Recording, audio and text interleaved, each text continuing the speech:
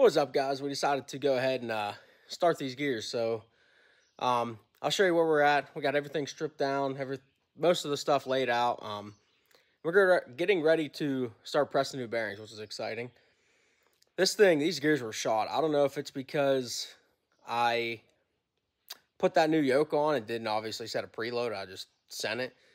But I'll show you what we're working with and uh, where we're at. And I'm just to, this isn't going to be a how-to. I, I don't even know how to do it myself. So for me to make a video, informative video telling people how to do it, it's not right because I don't even know how to do it. So with that being said, uh, I'll show you where we're at. Okay, so got this uh, carrier emptied out.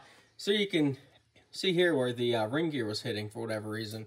And this magnet was covered in shavings. It looks fresh, but I don't know. It's all got oil in there. So I don't know if it's from that, for me putting the yoke on. But gear oil is gross. I never had this open, so. I'll show you over here. Got everything laid out here for the most part. Um, here's the new pinion. Getting ready to start pressing bearings onto it. Got the old crush sleeve, new crush sleeve eliminator. Um, I'm to go through these shims and measure them and uh, make up the difference for these and then add a few thousandths. Uh, there's the old caps. See, and I'm working on the pinion housing right now from pressing out the bushings. Got a couple, uh, got a couple dingers in there, so I'm just filing these edges down. That way the race is sits nice and flat. And also, while you're here, I was telling you guys about his Jeep. Let me, uh, let me show you. Just give you a quick glance at this thing. And check this thing out. This thing is sick. This is uh, this is a dream for sure. Full custom cage by a local shop called Sky Limits Fab. He's running uh, Rhino beadlocks 2, PRP seats, full hydro, 60 up front, 14 in the rear, 538, RCVs. Yeah, this thing is, uh, this thing's a dream for sure. Okay, so another update. Uh, pinion's done. It's at 30 inch pounds of preload, which is the specs 20 to 35. So it's all set up, ready to go. We're gonna get that put in next. And yeah, then start getting the carrier put in. So yeah, I'll check back in next step. What's up guys, next morning here. So um, just running the final pattern. I'm gonna go ahead and go with this one and I'll show you it here in a second. But this rear axle is ready to have the diff cover put on. I'm gonna put the ARB line in the cover. I think that's the best place to keep the line away from the ring gear and everything. So that's the step I'm at now. Here's the, the wizard himself. but yeah, so here's the pattern we're going with. I like it. Looks good. Backlash is around like five six, which is in spec. So we're gonna send it like we always do. But yeah, we're gonna get this rear one uh, buttoned up and then get started on the front. Got the rear end buttoned up, so I'll flip the camera around and show you. But, but yeah, it's all set up, done. Um, numbers turned out good. The airline works. Uh, rear's locked now, so it's half a Rubicon, I guess. But I'm gonna start tearing apart the front and I'll check back in here in a couple minutes.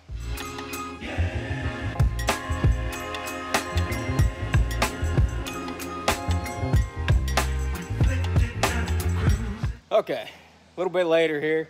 Got the front end tore apart. Um, I'm debating on whether just pulling this axle out or not.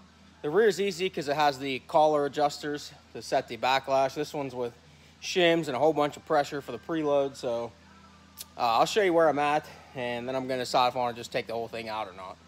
Here's where we're at with the front. Uh, everything's out with the pinion. This thing is gutted again. but that's okay. It's for a good cause, so.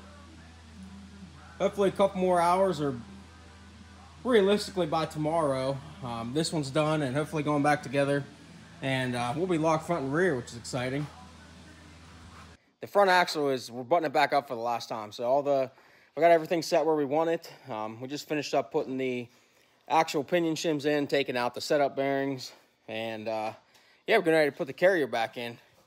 We decided to take the whole axle out because once we got it to where we needed it, there was only like six bolts left, and it's way easier to do it here on the stand. And we had to take the carrier in and out probably, I don't know, eight or 10 times. So yeah, that's where we're at. We're going to get this set up, and there's the wizard himself. and uh, get it put back in the Jeep. So I'll check back in once it's bolted in.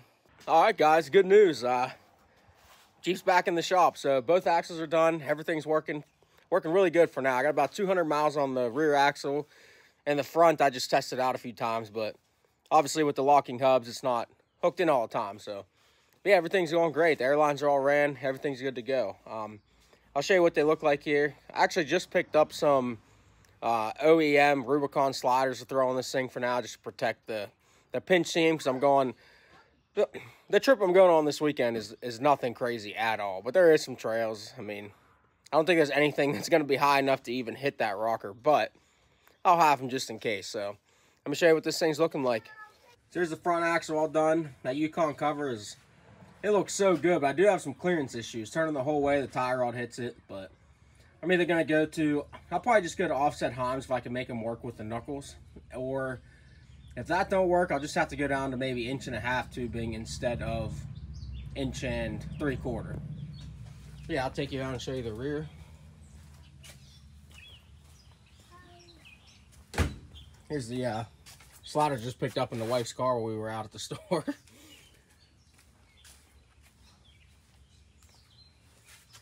and here's the rear. Matching diff cover. They're not good. I don't I don't love where the airline's at. Um, it's gonna work for now. I didn't want to hole saw into my truss just yet which I might end up doing if that becomes a problem. I have extra fittings in case that does get hit, but if it does, then maybe I'll hole saw into the truss. I should have tapped it before I put the truss on, but I wasn't uh, that far ahead of the game. Yeah, guys, that's going to be a wrap on this video. I know it was not uh, instructional. Is that a word? Sure. But uh, I've never done gears before, so it'd be wrong for me to put out a video teaching and telling people how to do it when I didn't even know what I was getting. Well, I knew what I was getting into, but I've never done it, so I have no experience doing it. So I didn't feel right making a video telling people how to do it, if that makes sense. So I hope you liked the couple clips I put in of the progress. And uh, yeah, soon we'll be uh, wheeling this thing, which is exciting. Like I said, I got that trip coming up this weekend. Maybe I'll see some of you there, maybe. But yeah, if you uh, enjoyed the video, like, subscribe, share with a friend, and uh, we'll see you on the next one.